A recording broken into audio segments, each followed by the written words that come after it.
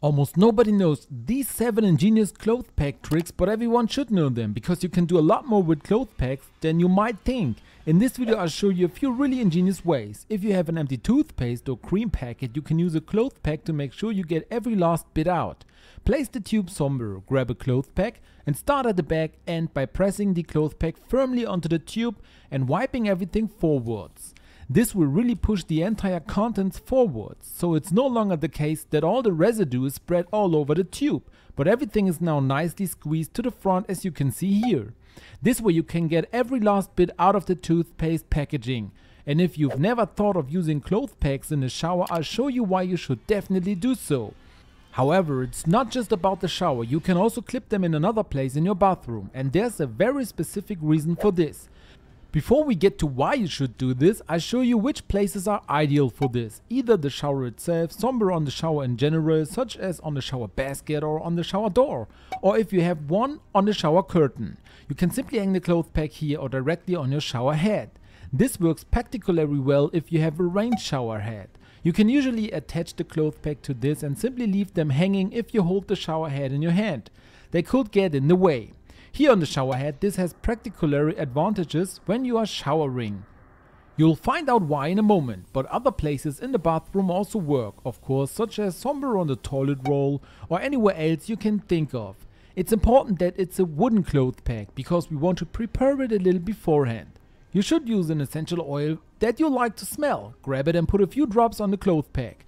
Because it is made of wood, the essential oil can really soak in. Wait a while and turn it back and forth a little. Now you've already prepared it. And that's the great thing about it. The essential oils really come into their own in the shower when the heat rises and your whole home will smell really pleasant and fresh thanks to this little trick. This brings us directly to the third trick with cloth packs. You should use a cloth pack if you want to hammer a nail into the wall, because you probably know the problem too. You choose the place where you want to hammer the nail in, grab a hammer, hold the nail firmly and hammer away. However, you may end up hitting your fingers in the process, especially if you're not experienced in using a hammer. It's easy to miss the mark and injure yourself. And this is exactly when a conventional cloth pack can actually help you. All you have to do is clamp the nail in the cloth pack. You can then use the cloth pack to place it at the point where you want to hammer it into the wall. And now you can take the hammer and hit it, as your fingers are now only holding the whole thing at the outer end of the cloth peg and are no longer near the nail, you no longer have to worry about hitting your fingers. So hold the whole thing against the wall where you want to hammer the nail in and hammer away. After the first few taps, the nail will be far enough into the wall so that you can remove the cloth peg completely and then hammer the nail into the rest of the wall. So if you are someone who has two left hands and often hits your fingers, then you should use this trick to prevent this from happening to you in future. And you can even use the cloth pack to pull out the nail off the wall. Clamp it in as you can see here, twist the whole thing back and forth a little and after a short time you can easily get the nail out. The cloth pack can help you if you want to hammer a nail into the wall, but also if you simply want to remove it. This brings us to our fourth trick. And for this one, we want to use cloth packs on our knife. But here too it is important that we prepare the cloth pack beforehand because we don't just want to clip it to the knife. What you also need for this is a hot glue gun and some sandpaper. Grab some sandpaper, hold the cloth pack here and cut it to the exact width of the cloth pack. In the end we need two pieces. They don't have to be as long as the cloth pack. Half as long is quite enough. Once you have cut it to size, carefully open the cloth pack, take a hot glue gun, apply a little of the hot glue to the inside and place the first piece of sandpaper here. Apply a little glue to the outer end and stick the whole thing over here. Repeat this process on the other side, then wait a little until the whole thing has hardened. And then we come to the brilliant advantage. This is how the cloth pack with the sandpaper should look in the end. There is still sandpaper in between. We can open and close the cloth pack. And now let's grab our knife to do just that. Because what you can do now is hold the cloth pack carefully in your hand and pull it through this slit with the knife. This will completely sharpen your knife again with the help of a cloth pack and some sandpaper. You can now put the cloth pack in your cupboard and take it out again every time one of your knives has become blunt and you want to sharpen it a little. And you can even use the cloth pack on your bin, using bin liners to be precise. But this trick works differently than you might think. The following problem will certainly be familiar to you. You have pulled the bin liner over your bin. Now you start throwing things into your bin. However, especially if they are a little larger or heavier, the bin liner sometimes slides down with them. And it doesn't take long before the bin liner is no longer over the edge and you have to adjust it every time.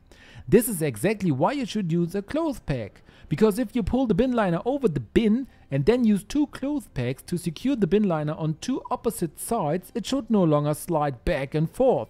This means that if you now throw heavier items into the bin, the bag will no longer slide in but will stay in place. And I have a brilliant little bonus trick for you for this. You'll need another essential oil of your choice for this one, because if you use a wooden cloth pack here too, you can apply a little of the essential oil to it. A few drops should be enough here too. You should then move the cloth pack back and forth a little so that the oil can spread well on it and really soak into the wood.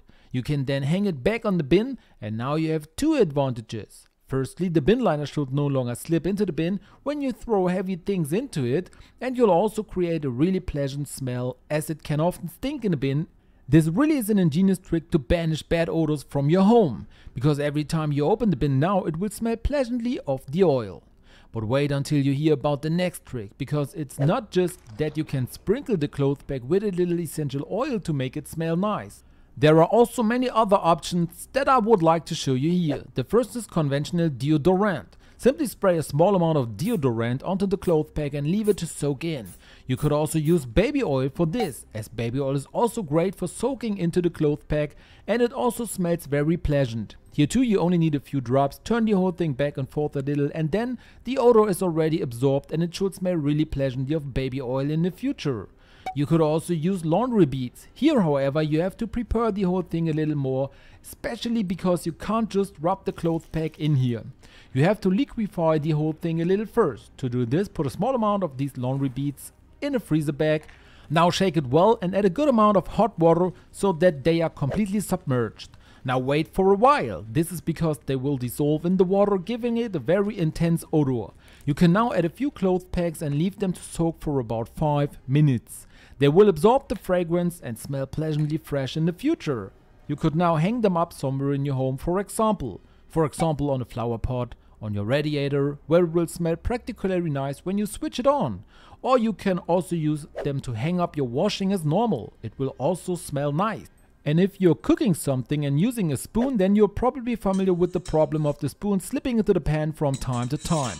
To prevent this from happening in future, you can clip a cloth peg to the top of the spoon.